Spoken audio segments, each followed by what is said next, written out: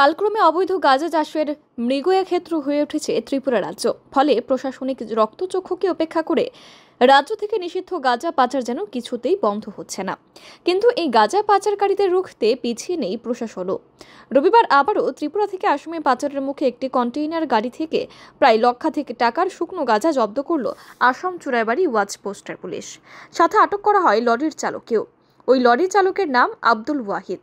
বাড়ি কাছাড়ের কুমরাই জানা গেছে, রবিবার সকাল এগারোটা নাগাদ AS zero one NC five seven nine five নম্বরের একটি অনলাইন সামগ্রী বহনকারী কন্টেইনার লরি ত্রিপুরা থেকে আসামের চোরাইবাড়িতে পৌঁছলে গাড়িটিতে যথারীতি তল্লাশি চালায় কর্তব্যরত পুলিশ অফিসার প্রণব মিলি।